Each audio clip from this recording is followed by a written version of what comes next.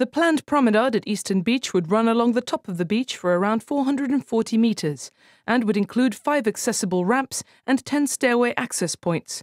600 beach stores are also planned underneath the promenade. These would be available for beach users to keep their belongings in. The plans also point out a location for a future kiosk.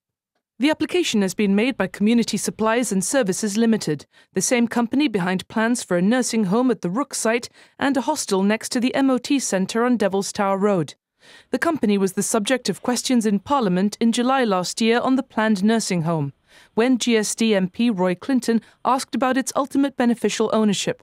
Sir Joe Bossano said the government does not provide information as to the beneficial owners of the entities with which it does business. Companies House information shows the directors to be Hassan's lawyers Jaime Levy and Anthony Provasoli. You can view the plans for the promenade on the town planning portal online at egov.gi.